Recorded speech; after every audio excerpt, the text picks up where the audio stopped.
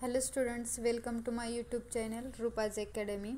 तर तुम्हा सर्वांना माहितीच आहे की सध्याच्या कोरोनाच्या परिस्थितीमुळे महाराष्ट्र सरकारने पहिली ते बारावीचा अभ्यासक्रम पंचवीस टक्के रिड्यूस केलेला आहे. म्हणजे पूर्ण अभ्यासक्रमातील काही पाठ्यक्रम हा वगळण्यात आलेला आहे. तर तो कोणता आणि आपण कुठे पाहू शकतो?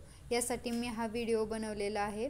तर चला आपण पाहूया की हा जो रिड्यूस सिलेबस आहे तो कोठे आणि कसा पाहायचा? तर यासाठी तुम्हाला सुरुवातीला गुगल किंवा क्रोमला जाऊन तिथे M A A dot A C dot in या वेबसाईटवरती जायचं आहे. तिथे गेल्यानंतर तुम्हाला पहिलाच ऑप्शन दिसेल. S C R T Maharashtra त्याच्यावरती क्लिक करायचे. एस सी आर टी या ऑप्शनवरती क्लिक केल्यानंतर तिथं एक जे पेज ओपन होते तर राज्य शैक्षणिक संशोधन व प्रशिक्षण परिषद महाराष्ट्र. तर त्यामध्ये काही लेटेस्ट न्यूज आणि अपडेट्स तिथे आपल्याला दाखवतात. त्यामध्ये पहिलीच जे अपडेट आहे शैक्षणिक वर्ष दोन हजार एकवीस बावीससाठी कमी करण्यात आलेला पाठ्यक्रम.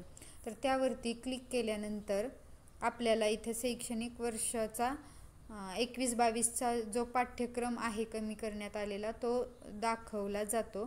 तर त्यामध्ये सर्वात शेवटी इयत्ता पहिली ते आठवी इयत्ता नववी ते दहावी आणि इयत्ता अकरावी बारावी असे ऑप्शन दिसतात. तर त्यामध्ये जर आपल्याला पहिली ते आठवीचा जर अभ्यासक्रम पाहायचा असेल त्यापैकी एखाद्या इयत्तेचा अभ्यासक्रम पाहण्यासाठी आपल्याला पुढे डाउनलोड ऑप्शन दिलेला आहे. तिथून ती फाईल डाउनलोड करायची आणि त्यामध्ये सर्व विषयांचे प्रत्येक प्रत्येक सब्जेक्ट वाईज तिथे रिड्युसिंग सिलेबस दिलेला आहे.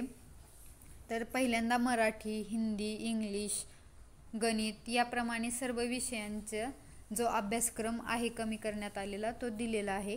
त्यानंतर जर आपल्याला नववी ते दहावी पाहायचं असेल तर त्यावर तो ती फाईल आपण डाउनलोड करू शकतो. आणि अकरावी बारावीसाठी अकरावी बारावीचा जो ऑप्शन आहे ती फाईल आपण डाउनलोड करू शकतो.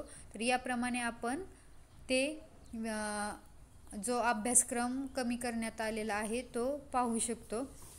तर कोणत्याही इयत्तेचा यामुळे आपल्याला अभ्यासक्रमाची सर्व माहिती मिळते.